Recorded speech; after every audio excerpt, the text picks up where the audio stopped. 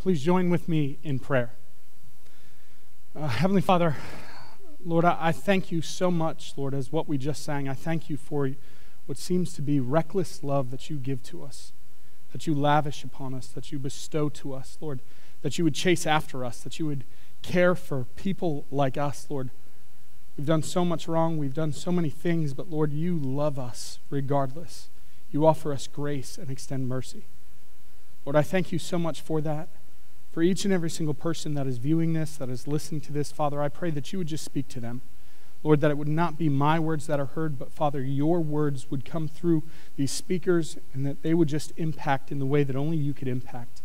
Lord, I'm thankful that your Holy Spirit continues to move and work, and I humbly ask that you would just continue to do that now, that you would meet your people, that you would speak through me, and that you would just have your will done in this place, Lord, in this community, in our lives, in our church, in our communities. Lord, we thank you for it all. In Jesus' name, amen. Amen. Well, once again, thank you so much for joining us today. We're so glad that you're with us. Uh, again, just to introduce myself, if we haven't met, my name is Ben Dieterle, and I get the privilege of being one of the pastors here at the Christian Life Center. And uh, know that you have a ton of different options online and even in person as we start to kind of go green from COVID. There's a lot of different places that you could be, and we want to thank you for investing and spending some time here, hopefully trying to challenge yourself and to grow in God's Word. And uh, today I'm pretty excited that I get to share with you. And uh, as you can see from the screen behind me, uh, I want to share with you from, uh, uh, from the book of Acts. But I do have to explain kind of my graphic. If you are trying to turn in your Bibles to the book of Acts 29 or to the book of Acts chapter 29, I do want to let you know that there is no Acts chapter 29, okay? There is a book of Acts, but it ends at Acts chapter 28. And the whole idea of what I'm hoping to kind of paint a picture for you today is that you would understand that as the Holy Spirit empowered his disciples, that as the gospel spread, that as the, this incredible kind of wildfire happens of the gospel going to all the corners of the earth, that God was moving and working then, and He still is moving and working in our hearts and our lives and in our communities today. And so, in a sense, we are the next chapter of Acts, and hence the title Acts chapter 29. So, God is not done. The Holy Spirit is not finished His work. He is continuing to move and work, and we have the opportunity to partner with Him in His work and in His journey. So, that's why we're calling this message Acts chapter 29.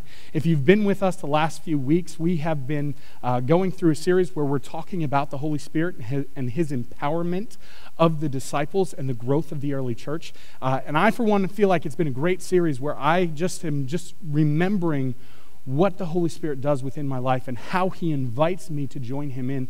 And really, as the outreach pastor, that's what I want to challenge you with today is to join in the work of the Holy Spirit and go for the things that God has for you specifically within conversations about the gospel. How do you approach people? How do you talk to them? And, and what I want to do is kind of look at Acts chapter 16. There's three specific conversations that take place that I think are beneficial for us. And we're going to kind of work through that today. Um, but really, as we kind of set the stage, if you will, for what's happening in, in Acts chapter 16, uh, you have to understand that as as the Holy Spirit fell, this small movement that started with 12 men on a hillside who had no power, they had no money, no endowments, no celebrity, no celebrity recognition, it started as this small movement. But what they did have was a conviction that Jesus had risen from the dead and that a strange power had come upon them called the gift of the Holy Spirit. And from there, what happens is that the gospel begins to spread and it continues to spread and continues to spread. And, and, it's a pretty cool image. In fact, I found these images as I was kind of preparing for, uh, for today's message. And I want to share with you these images if you can see them. Um, this first image that I'll show you that you can kind of see behind me is uh, there's a specific area kind of to the right side where it's lit up in green. This is kind of what they believe was the uh, this is after or uh, right around Paul's first missionary journey. This is kind of the, the amount of people that are actually saved that identify as Christians. It's around 45 AD. Not very much going on, but as you see and hear the continuation of the gospel spreading, as the Holy Spirit is moving, empowering his people to communicate communicate and to talk about the gospel, that continues to grow. So that the next picture you see is that this is probably during Paul's second missionary journey. You see on the right hand side that it's continuing to grow. It's no longer just a small little dot, and that's in about 20 years or maybe 20 to 30 years. There's significant growth. But when you kind of zoom out even a little bit more to the year 325, what you see is that almost half of the entire Roman Empire has identified themselves as Christians. Eh, I think scholars said it was around like 56%. Uh, more than half of the entire Roman Empire has identified themselves as Christian. Man, that's, that is spreading like wildfire. And it's pretty incredible to see and to hear of. Uh, so much so that in about 380, I believe it was, that the official religion of Rome becomes Christianity. And there's some challenges and some difficulties in that, which is for another time, another day. But the gospel was spreading. The Holy Spirit was moving and working. And He is still moving and working to this day. And so, what I want to do today is, is look at, like I said, Acts chapter 16. And I think it's important to kind of ask ourselves well, how did, how did this, this spread of the gospel happen? And, and I think that there's a really big part of that is that, number one, the, what caused the spread of the gospel so much was God Himself the Holy Spirit moving and active, living and working and going for it. And it's amazing how even God had brought things into an alignment where the entire world in 300 BC was conquered by Alexander the Great, but then the Romans conquered the Greeks. And while the Greeks had their kind of own way, and, and I'll say that the Rome. Um, it, it, the way that Rome did things, the, the way that Rome uh, had their own what's the word I'm trying to look for? I'm struggling through this word. It's a little bit awkward, but we're, we're keeping this recording. We're going for it. Um, uh, Rome's, uh, Rome's ability to conquer them military wise was undoubtable, but then the Greek kind of way of life infiltrated the Roman Empire. And so what you see is kind of this beautiful system where politically things were were solidified across the world. Like there was a common language, there was a common culture, there was there were so many things that happened to help spread the gospel. But the main thing was that the Spirit of God was moving. The Holy Spirit was moving and active. And remember that mission is His work. Mission evangelism, conversations about the gospel. It's all the work of the Holy Spirit. And that is the biggest reason why the spread of the gospel continued. But the other part of it, and I think another key to the spread of the gospel, was that everyone, not just this kind of handful of selected people, not just this handful of specialized apostles, carried the message, it was for everyone. And as people came to know Christ, they would share what Christ had done. They would share that good news. They would continue to spread that word. And so the question kind of becomes for us well, what does a gospel conversation look like? Uh, for normal people, because most of us are not trained, we're not educated. We're going, man, I don't even want to hear the E word evangelism. In fact, as I prepared this, I, I was trying to avoid the word evangelism because I think that for many of us, it can create some anxiety. We're going, oh man, okay, I've got to be official and legit, and I've got to know what I'm doing, and I've got to do this and this and this and this. I, I don't think it's I think that we can make it bigger than what it is. I think that what we're called to do is to have conversations and to simply tell people what Christ has done in us, to share the good news for people to simply believe. And so I want to look at three different conversations that we're going to find, find in Luke, or excuse me, in Acts chapter 16. And Acts is written by a man named Luke. He's a very educated, smart man. In fact, what we may or may not know of Luke is that this city of Philippi, which is where these three conversations happen for Paul as he's talking to these new converts in the city of Philippi, Philippi might have been the location that's, that Luke was actually educated in. They had a very prestigious uh, hospital or, or, education side of things where Luke might have been educated there. And so I want to look at these three conversations regarding these three different people. And so we're going to go ahead and jump into that. We're going to be starting in uh, Acts 16, verse 11. Well, probably uh, more like uh, verse 12, because 11 just kind of is the setup. They're trying to get to Philippi. 12 says this it's basically they sailed to this one location, then to this other location, and then verse 12 picks it up and it says, And from there to Philippi, which is a leading city of the district of Macedonia and a Roman colony. Macedonia was Greece. If for those of you that don't remember that, I had to look that up, so no worries if you do. And it says we remained there in the city some days. And I think it's important when Luke writes things, he doesn't just write things on a, on a whim. It's not like he gives just basic information or information that's not really pertinent. When Luke writes things, again, very well educated, well thinker, he's kind of an investigative journalist, which is what we've heard in the last series. And he is pursuing and tracking down. So when he talks about Philippi being a leading city in the district of Macedonia and a Roman colony, there's certain things that those listeners would understand. Like a colony was considered to be a part of Rome itself. It was not just, you know, part of the, the empire and it just does its own thing. No, it was part of Rome itself, meaning that its people were actually considered Roman citizens. And that was a standing that carried very high privilege. They had the right to vote. Uh, they were governed, governed by their own Senate, Rome's own Senate, and had Roman laws and Latin language. Philippi was also a garrison city with a Roman garrison stationed there to keep it secure. In Paul's day, it was an honored Roman city and military post, and they were very, very proud of the fact of their Roman heritage. They were proud of that. And actually, as you look through it, when the Romans conquered uh, Philippi from the Greeks, they actually established or colonized that area of Philippi by retiring soldiers. In fact, that was continued, possibly a continued practice that continued through the years, but it was colonized by these citizens that were, had spent years in the army, that they were kind of given this area as a retirement gift, if you will. And so it was a mini Rome. It was governed by two military officials that were appointed directly by Rome. And it was also a strategic passage that controlled the east to west travel for Macedonia, for Greece. And so it was a very significant city for in industry, for agriculture, for education, for, and for military purposes.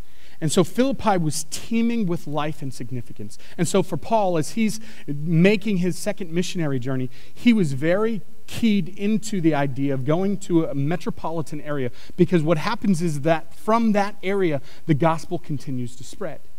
And it continues to spread.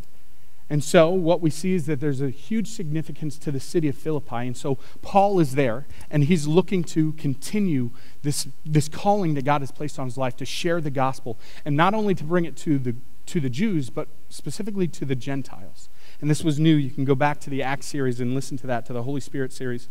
And so, continuing on with this, in verse 13, it says, it says this, And on the Sabbath day, he went outside the gate to the riverside where we supposed there was a place of prayer, and we sat down and spoke to the woman who had come there. One of the things that you see is that Luke is using the words we because Luke is actually part of this missionary journey with Paul. So he is investigating kind of this, the birth of the new church, but also he's spending time here with Paul and Silas and with Timothy. And so it says, On the Sabbath day, we went outside the gate to the riverside um, where we suppose there was a place of prayer. So, Paul's kind of mode of operation, if you will, is that when he would go into a city, what he would first do is go to a synagogue and preach the gospel there.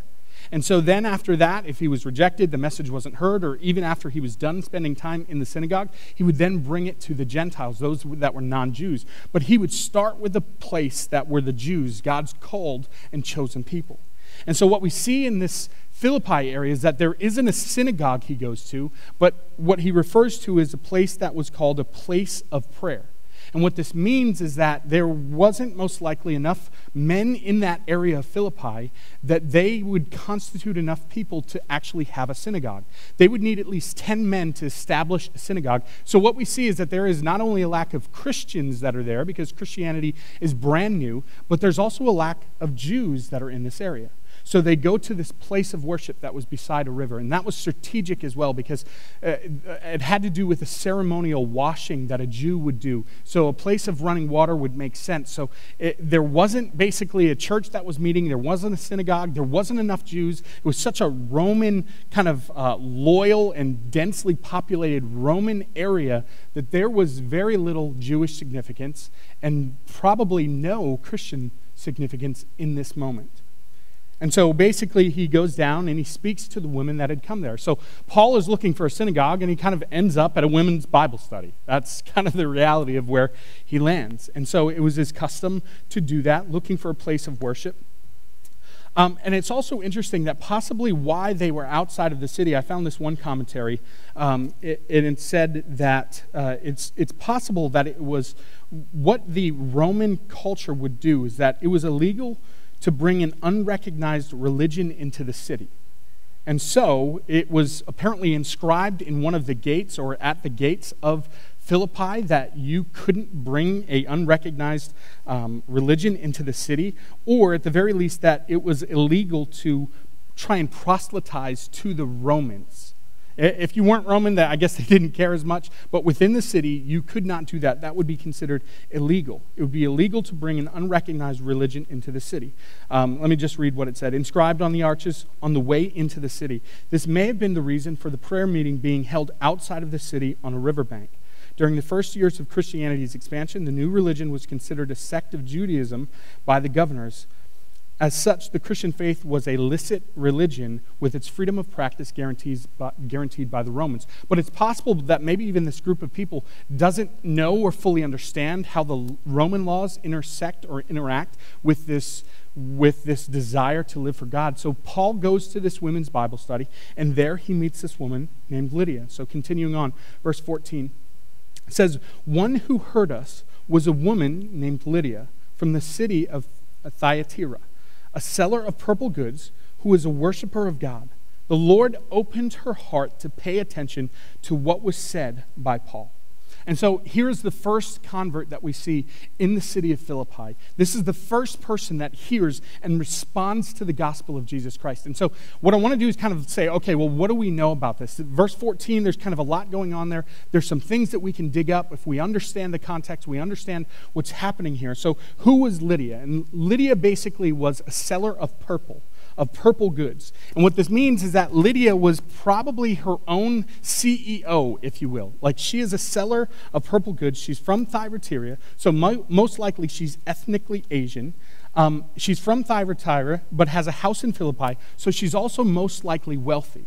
You don't have a house kind of here and there. Both of those locations were metropolitan areas. So she was pretty well established. And the fact that later on she invites the disciples to come and stay with her, she would have had enough room to where that exchange or that uh, invitation wouldn't have been awkward. So, judging by most likely the size of her house that she could offer that, she is a very wealthy, put together CEO, if you will.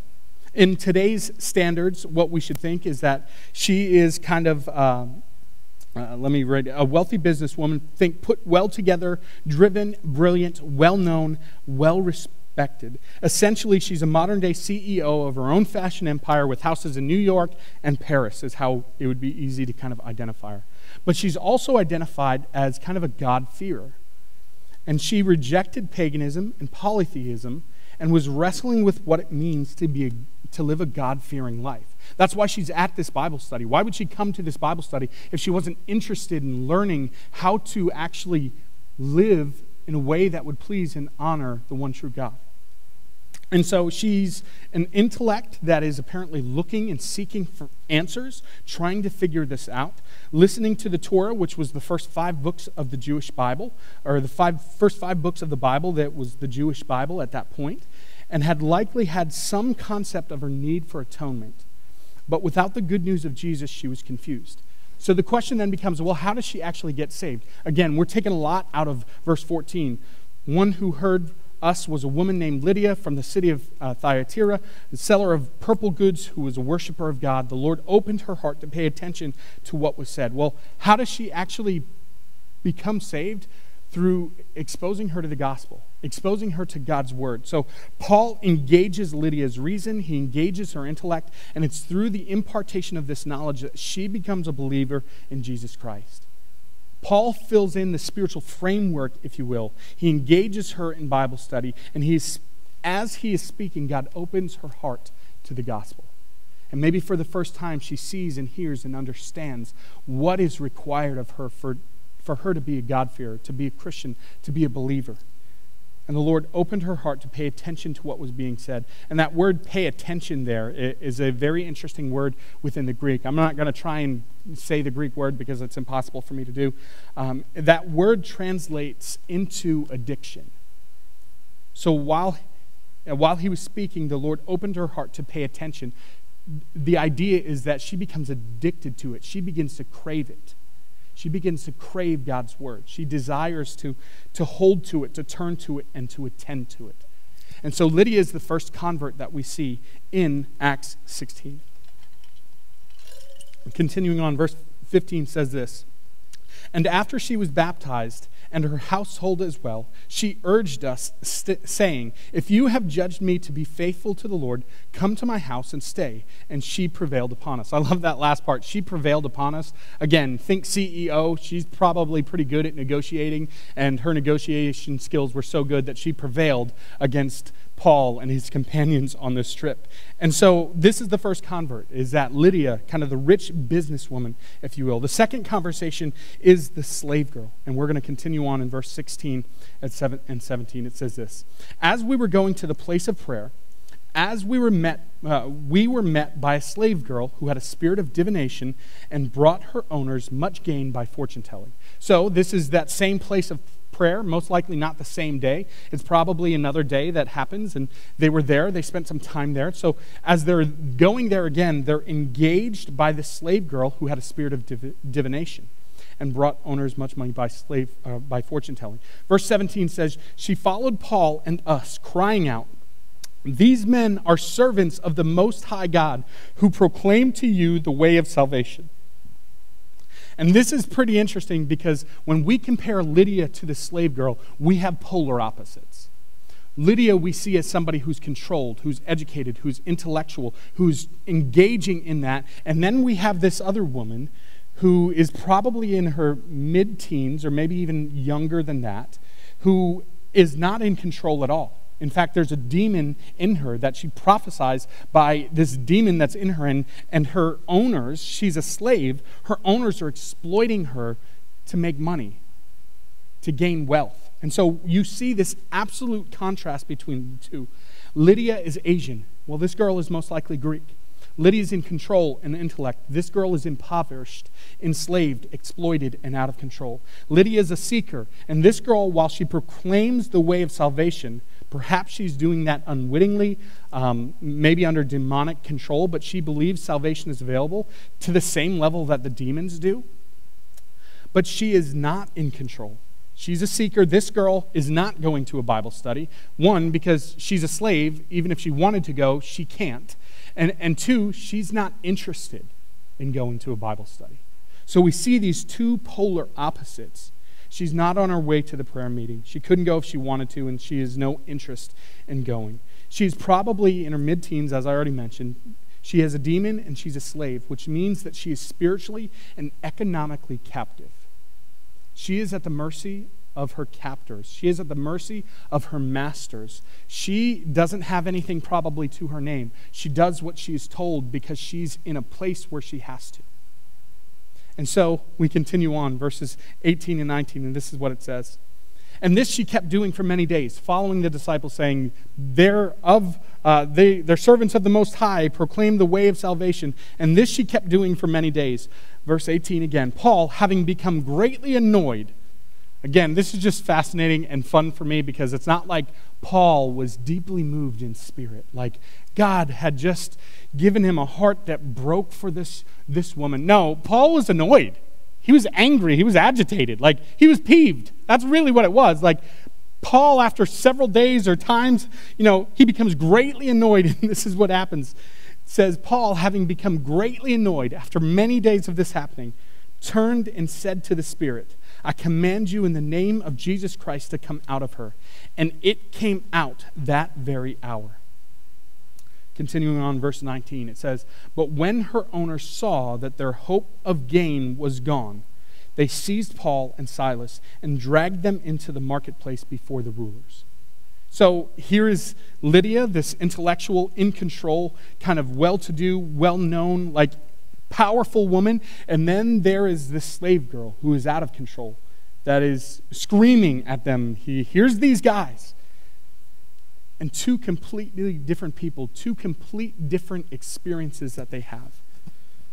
And I was kind of, as I was studying this, one of the questions that I had, well, well, it's weird. Why was the demon possessed girl, why was she declaring that these men are, are servants of the Most High God? And what she was claiming was actually true. So why was she doing that? And then why did Paul get annoyed at that? Like, it, it almost doesn't make sense. And I found a commentary. It's the, the Life Application Concise New Testament commentary that spoke to that, that I just want to read to you.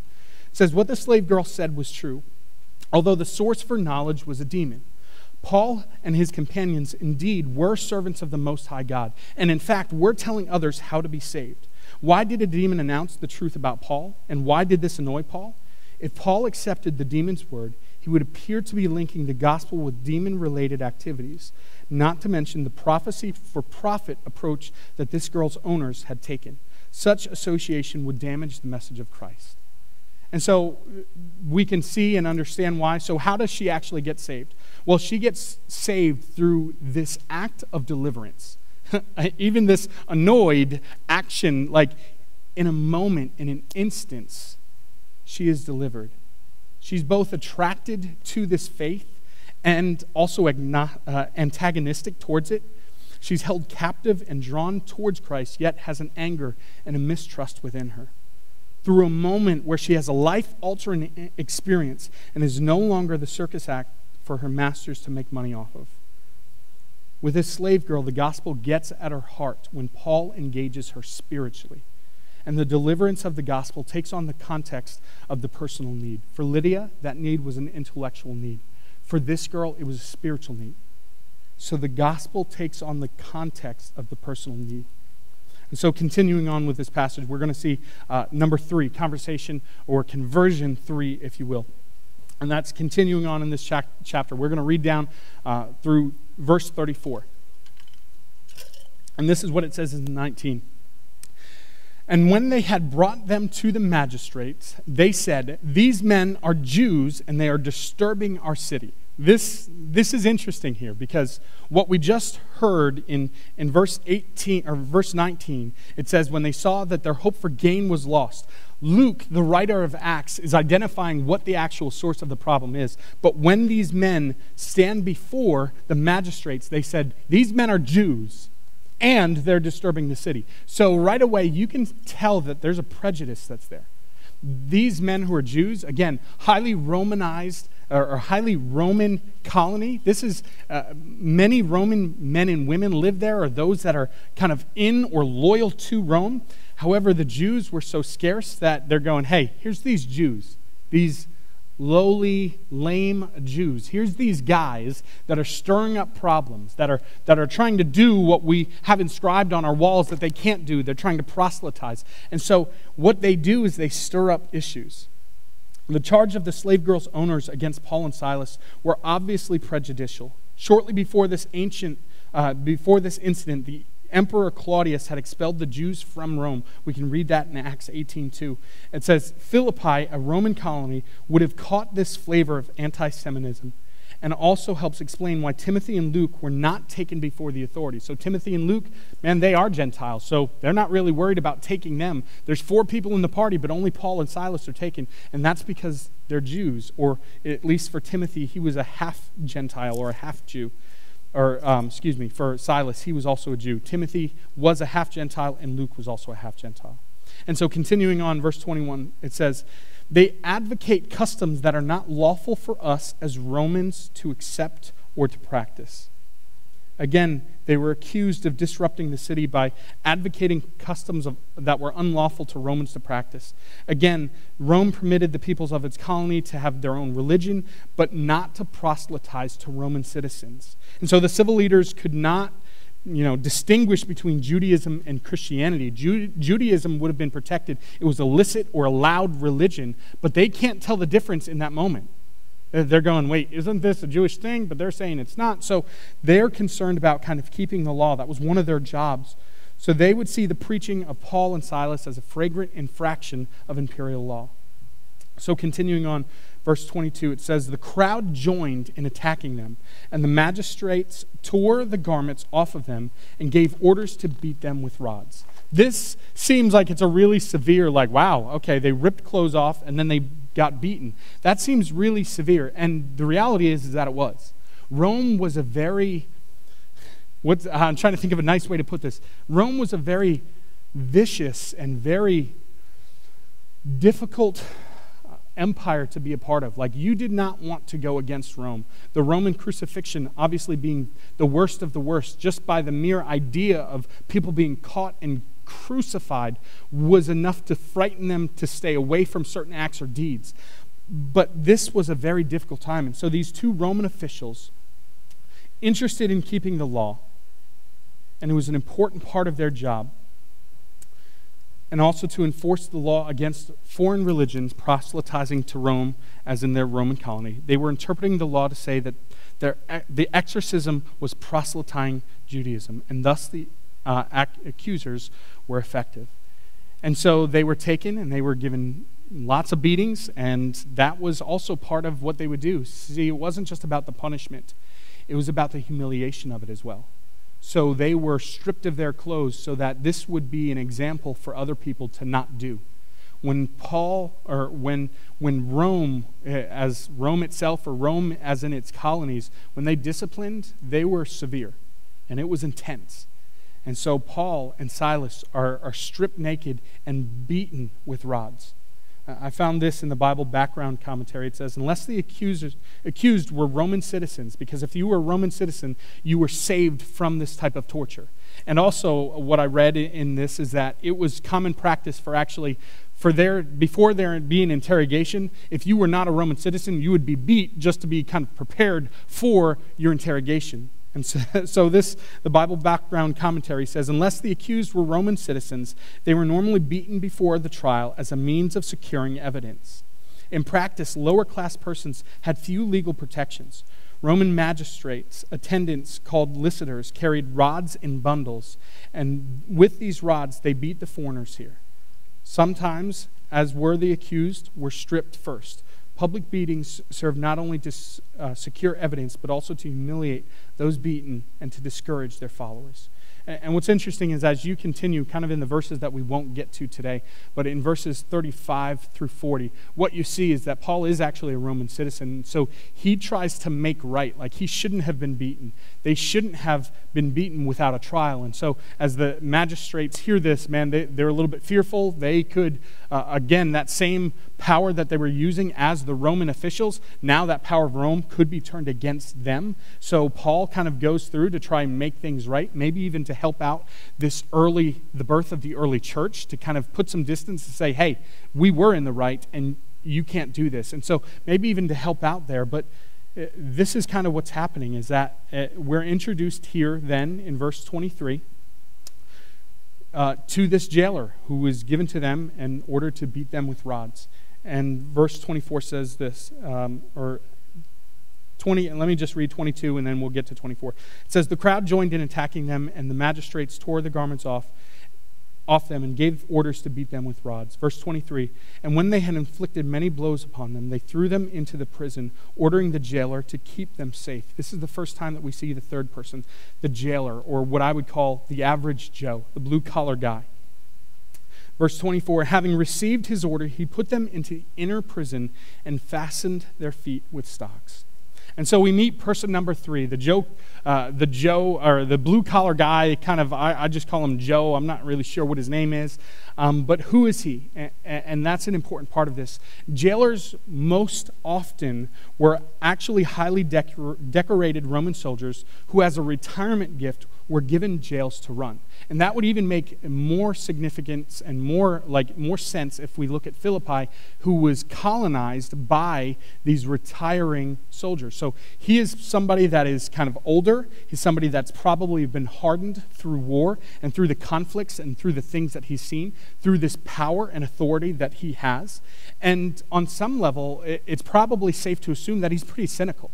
Like he's gotten used to having authority. He's used to being kind of the big man on campus, if you will. And so he is this ex collar GI, and he is manning the cells. Most likely, he's probably not interested in the incessant banter of the intellectuals. He's not interested in the charismatic hoopla of the spiritual power. He's a guy that just wants to kind of put his time in and go home from work, have a beer, watch the game, and he's just kind of your average normal guy. I don't think he's spending much time thinking about what is the meaning of life. He's just trying to be, you know, honoring to his imperial uh, employers and, and just kind of continuing on to go home to his life. In comparison to Lydia, who's this rich woman, and the slave who's poor, he's probably middle ground. He's probably not rich or poor. He's just this average guy. And the reality is, is that he's probably not interested in the gospel. He just doesn't have a need for it within his life. So he puts Paul and Silas into the inner prison. This inner prison were usually the lowest part of the building. It was the most secure location reserved for the worst of the worst. It was dark, dank, and disgusting down there.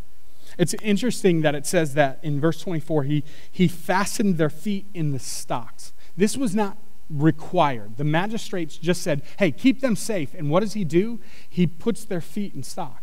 And before you get carried away thinking about stocks, this was not your typical, let me put my friend in the stocks, we'll take a few pictures, and it'll be a lot of fun, we'll recall. The stocks that the Romans had, again, they were efficient at being very, very uh, forceful when it came to their punishment. The stocks that they would put them in would actually, they would make them twist and con- contort their bodies so that their body would actually cramp up, and then they would be left in those stocks for days. And so their feet in stocks were not easy. It would, uh, it would uh, contort the body, the prisoner's body into all sorts of excruciating pain, locking limbs with searing pain, and the Romans would just leave them for days. The jailer is not commanded to treat his prisoners this way. The magistrate simply asks him to keep the missionaries safe, and instead he tortures them. It's probably pretty safe to assume that this isn't a very nice guy. He's not a great guy. He's probably good at his job, and maybe on some level, he, he might like it even a little bit too much.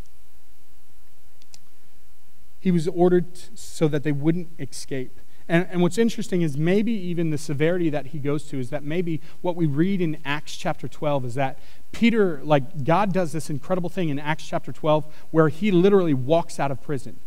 Like, and what he hears is actually the jailer then was responsible. The jailer then had to be put to death because in a Roman colony, a jailer was responsible for the same sentence of whatever that person that, that ran away, that escaped, they would have to then pay the punishment of that person, most likely resulting in death. And so maybe this jailer hears what has happened with Peter. Maybe it's made its way to Philippi, and maybe he's hearing things of people walking out of prison cells and, and jailers being killed because they're their, their, uh, their prisoners got away. And so maybe as his form of maximum security, maybe he puts them in the very center, the very core, the very middle, the inner place, the inner dungeon, and he fastens their feet. Continuing on, looking at his conversion. Acts 16:25 it says about midnight Paul and Silas were praying and singing hymns to God and the prisoners were listening to them. This is pretty fascinating because Paul and Silas have just been beaten, they've been humiliated. What started off as what looked like to be this promising missionary journey, the second one, like starts off really exciting, and then all of a sudden they find themselves in, in prison under trumped up charges by prejudice, uh, uh, prejudicial people, like people that are racist, people that don't care, like, and people for no reason that, that beat them. Can you imagine what that would have been like? And what did they do? They responded by prayer and singing hymns to God. And the prisoners were listening to them. What an incredible scene this must have been. Paul and Silas were barely into their, their first, you know, uh, first stop on their promise to be wildly effective uh, Macedonia evangelistic campaign, one God had called them to. And so, what did they do? After finding themselves in stocks, after finding themselves beaten, bleeding probably still from the beatings that they took, so, what did they do? Did they moan? Did they whine? Did they blame God? Did they give up? Did they throw in the towel? Did they, I am out of here? No. Their jail term was marked by only two activities by praying and singing hymns to God. I feel like there's so much more that we could go into with that, but that's, that's kind of taking away from where I'm trying to take us to. And uh, the other word that is interesting here, it says that the other prisoners were listening as Paul and Silas sang and prayed. And the Greek word there for listening is a strong word implying that the prisoners were listening intently. At midnight, the, the prisoners were listening intently. Why were they listening intently? Because who sings and prays and cries out to God in the middle of their circumstances. That's not natural. That's not normal. So possibly these other prisoners are hearing and seeing this and they're going, What is going on? What, is, what do they know? What do they have that I don't have? Imagine the impact of you as the jailer, the one responsible for torturing them, at least the second part of that. Maybe not the beating part. Maybe that was you were ordered. That's on them. But now the torture part that you own. Imagine being the jailer hearing that. Though their bodies were still bleeding and uh, and tortured in the stocks, their spirits were praising God and thanking Him for who, who He was. Verse 26, it says this And then suddenly there was a great earthquake, so that the foundations of the prison were shaken. And immediately all the doors were opened, and everyone's bonds were unfastened. And again, guards were responsible for their prisoners. So for the jailer to see what was happening, bonds to be gone, doors to be open, he knows that if these men and women or these prisoners escape, it's his life on the line. So, great earthquake. Verse 27. Then the jailer woke up and saw that the prison doors were opened. He drew his sword and was about to kill himself, supposing that the prisoners had escaped. And then verse 28 says this, and, and it, it is interesting to point out that if in a situation like the jailer, if, uh, if a Roman found himself to where um, suicide was uh, suicide was an option, such as on the battlefield, or in this case, a jailer kind of ex- being exposed to this kind of embarrassment, then the Romans actually considered suicide to be noble. So, in this case, or in the case of a, a soldier who was critically wounded, they would consider suicide to be noble, which is interesting. So, the jailer is about to take his life, and verse 28 says this And Paul cried out with a loud voice. He said, Eat it, you cruel bigot. You deserve this. No, that's not what he said. Again, he's singing praise and hymns, sing, like praying and singing hymns. Now, he had a different approach, he had a different mindset, he had a different thought. Paul cried out in a loud voice, Do not harm yourself, for we are all here. Why in the world was Paul still there? Again, I just mentioned that in, in Acts chapter 12, Peter goes through this similar thing, and he literally just walks out of jail. Like God allows him to walk right out of jail. But yet, Paul is still there. The chains came off, the doors came open, and Paul and all the other prisoners, whether that was Paul's leading and they were just amazed because they're singing for deliverance, maybe, and now all of a sudden there's an earthquake. Imagine what the prisoners were thinking. Imagine what the jailer's thinking. He's about to end his life, but Paul says, No, we are all here. Paul knows that he's innocent. The walls are gone, the chains are off, and it'd probably be safe to assume that this was an act of God. An earthquake just busted everybody out. Pretty safe to assume that like it would be okay. So why was Paul still there? And I think the answer to that question is because Paul recognized that this is part of the plan that God had to reach Philippi if part of God's plan to reach Philippi was to put Paul in prison so that he could suffer well before this Philippian jailer, then tell him the reason why he was so happy, then that was the price that Paul was willing to pay. That's incredible to me. On one hand, what you see is, is Paul's freedom on his right hand, the freedom that he deserves, that is, is his that's right for him. And on the other hand, he has a cruel man who has tortured him the night before. And Paul chooses to turn back to him. You can see why this was probably so moving to the jailer. Paul shows the jailer a better identity, more fulfilling reality, a greater duty that transcends everything that this guy has previously known. He shows this reality first by example. And after being tortured, the missionary sings and prays, and after becoming free from their bonds, even though the opportunity for escape and revenge is before them, the missionaries stay. And the jailer is blown away. While Paul engaged Lydia through her intellect and the slave girl through spiritual power, he engages the jailer through a living witness to a miracle. So, verse 29 says this And the jailer called for the lights and rushed in, and trembling with fear, he fell down before Paul and Silas. You know, at this moment, deeply impacted, the jailer at once becomes alarmed at his spiritual state. Possibly what didn't matter 10, 15, 20, 30 minutes ago, now all of a sudden he's deeply alarmed by. seeing the response of these disciples, seeing the amazing power of God, and then knowing what the choice that Paul and Silas could have made, and yet they choose to submit themselves to this jailer. This question's filled with significance for the jailer. He must have understood what he was asking. Undoubtedly, he had heard the story of the slave girl and how she had announced that these men were servants of God with the message of salvation. Also, the prayers and the singing of Paul and Silas had reached his ears. This awesome earthquake, with a subsequent opportunity for the prisoners to escape, and Paul's reassuring words all moved him to ask for the way of salvation. And so, verse 31 says this. Or let me read 30. I'm not sure if I read that yet or not. It says, Then he brought them out and said, Sirs, what must I do to be saved? It's a beautiful picture. What must I do to be saved? Continuing on, 31, it says this And they said, Believe in the Lord. Something beautiful in that simple, simplistic answer. Believe in the Lord. That is all that is required of salvation. The what is to believe in the Lord. And then the disciples would later explain the how. And they said, Believe in the Lord Jesus, and you will be saved, you and your household. Continuing on it, and it says, And they spoke the word of the Lord to him and to all who were in his house. And then he took them, uh, that was verse 32. Uh, verse 33 says, And he took them the same hour to the, of the night and washed their wounds, and he was baptized at once, he and all his family. Verse 34 When he brought them up into his house and set food before them, and he rejoiced, along with his entire household, that he had believed in God. It's a pretty incredible and amazing story. Three conversions, three conversations that happen, and how God moves in each and every single one of them. And, and I think as we look at this story in Acts 16, and, and I don't want to spend too much more time, I want to wrap up.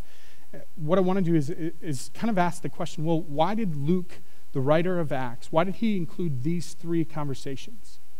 And I think it's important for us just because the gospel spread by normal people like you and I having conversations with people. He included these three because, the, because of a couple different reasons. Why are these three stories included in the book of Acts? Because surely there was a lot of t- different people that came to know Christ in in Philippi, right? Like this is the second missionary journey. This is bef- like in the middle of slide two before it gets to slide three. You know, a small percentage of people being Christians to eventually half of the Roman Empire identifying as Christians. So why did he put these three in there? And I think there's two two specific reasons. I want to really focus on the second one that these are listed here. I think the reason why this is in Acts chapter 16 is number one to show us something about the gospel, namely that the gospel is for everyone. Here are three people that are so uniquely different that would never, probably in any sense, kind of cross, cross paths. That they would not engage and unify to do life except for the gospel of Jesus Christ. The gospel has a way of unifying people and bringing them together, or at least it should be unifying and bringing us together because there is a unity that comes. The gospel cannot be stopped by the socio-economic or racial or religious walls we fallen humans build up. In these incredible instances, the gospel defies race, it defies class, defies status, and even defies aptitude. If we're honest with ourselves, we'll admit that we tend to prefer to do life with people who are similar to us. We live in neighborhoods and associate with people who look like us and act like us. Most of us go to church with people similar to us. This is the natural tendency of all people, but the gospel is not natural. It is not normal. The gospel blows the doors off our tidy little communes and creates a whole new community that never would have formed without it. The gospel is for everyone. Why are these three stories listed? One, so that we will understand some things about the gospel. There's more that we could go into that, but namely, the gospel is for everyone. And then this, the second one that I want to kind of end with that I really want you to hear. The second reason why these three conversations are listed in Acts, I think, is to give us a glimpse of different people in our city and to show us how to reach them. There's three different types of people that these conversations that uh, look so completely different. Three kinds of people in our community reached in three different ways. There's Lydia, who is the spiritual interested. There's the slave girl, who's the physical and spiritual captive. And then there's the Philippian jailer, who's the skeptic. And so, how do we reach them? And I think we've kind of already talked about them, but very briefly, I just want to give you kind of the highlights of that. For Lydia, the spiritual interested, the best way to reach them is, is to expose them to the Bible to just simply expose them to the Bible. They're seeking, they're hungry, they're looking for that. So expose them to the Bible. There's hundreds of ways that you can do that. You can invite them to church where we can hopefully partner with you that they can hear the gospel. We take a long time in these messages to communicate so that you can understand the gospel of Jesus Christ. It's not about me standing up here, it's not about Josh or any of our other pastors standing up here and just feeling good because we get a talk. It's about you understanding and grasping the gospel and what the implications implications of that is for our lives.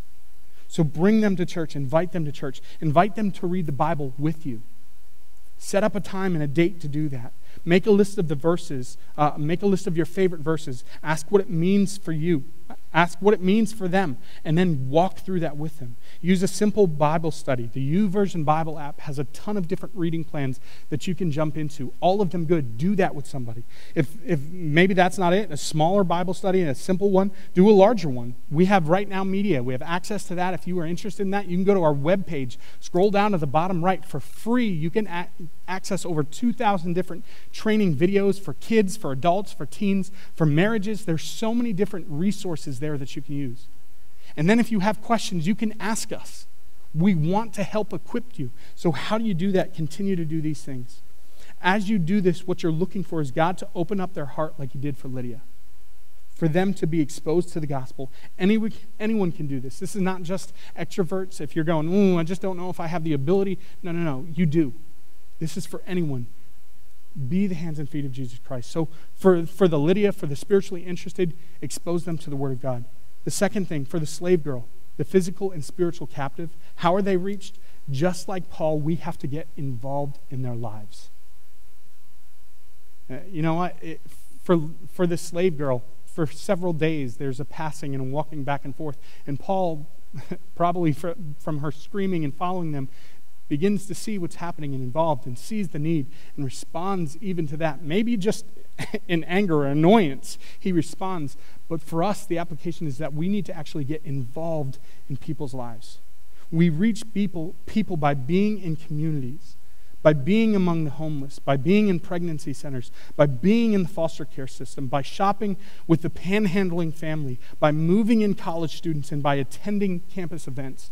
Be there showing up is the biggest part of this by simply being there.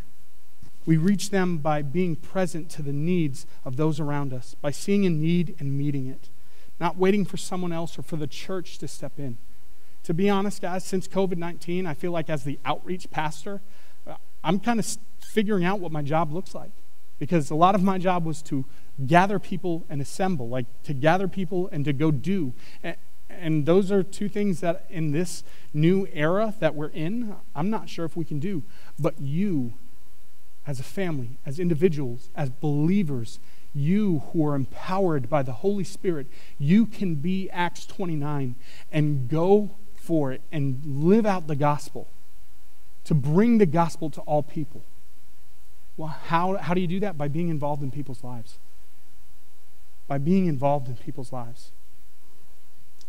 The reality is, is that's very difficult. Sometimes that sets you up for lots of different hardships and challenges. Uh, I feel like if I had more time, I could share stories about times where I've brought some people home uh, or brought one specific person that I have in mind home. And man, it was, it was terrible. I'll just be honest. It was an older gentleman who just was kind of towards the tail end of his life, was just was on his deathbed. And uh, at one point, like just, I guess to give you the highlight, maybe I'll go into more depth on Tuesday at overtime with this.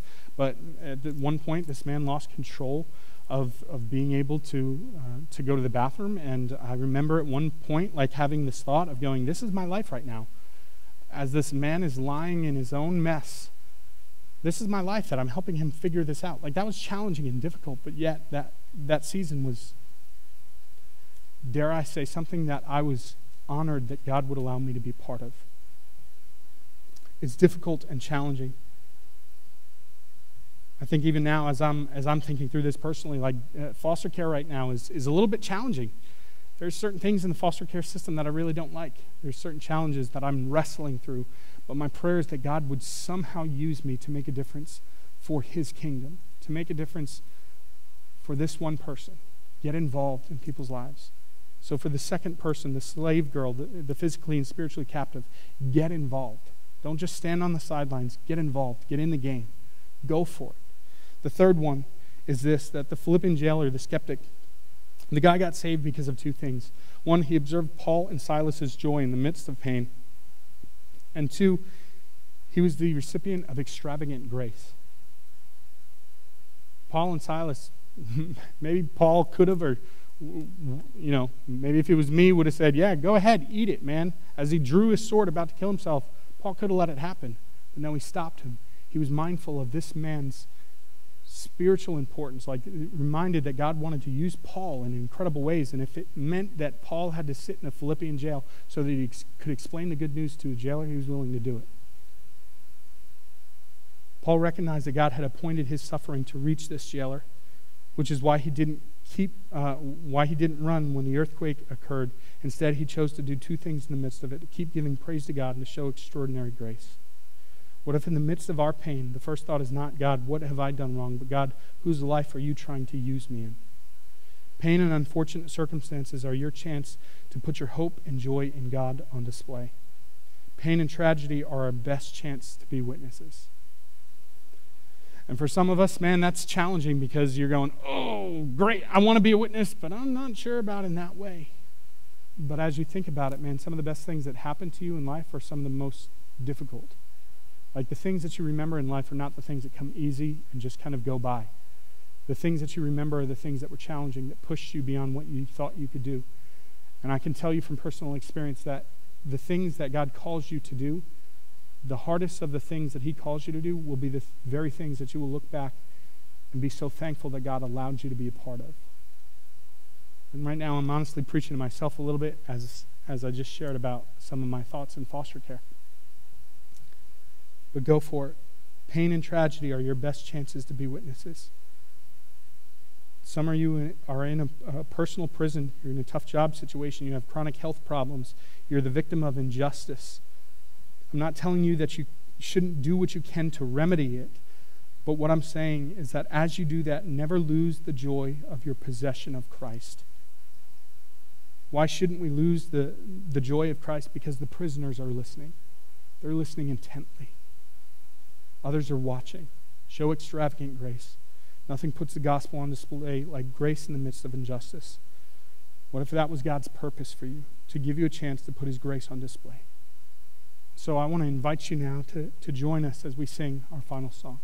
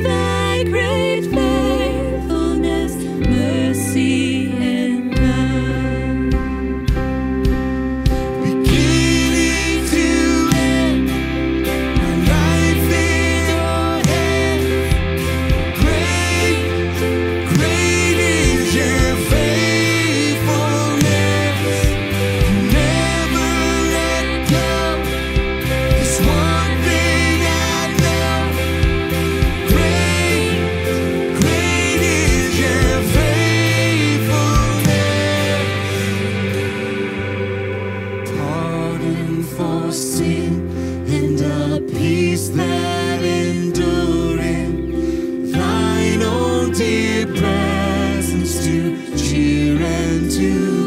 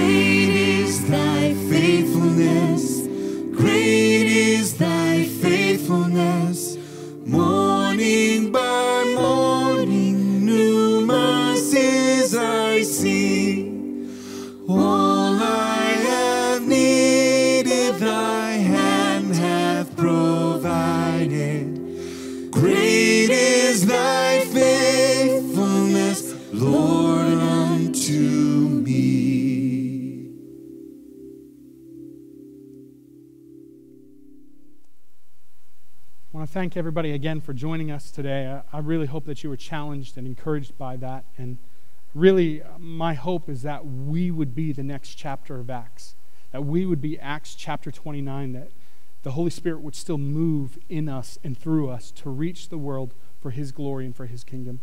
Let's be the vessels that God uses to bring about the spread of the gospel. Engage the spiritually interested by exposing them to the Bible.